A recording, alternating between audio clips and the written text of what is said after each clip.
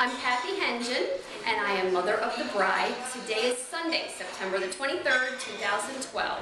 We are at beautiful Anchor Inn, and we had an amazing time.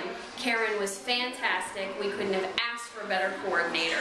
The food was phenomenal. We had a lot of compliments on the food and the service.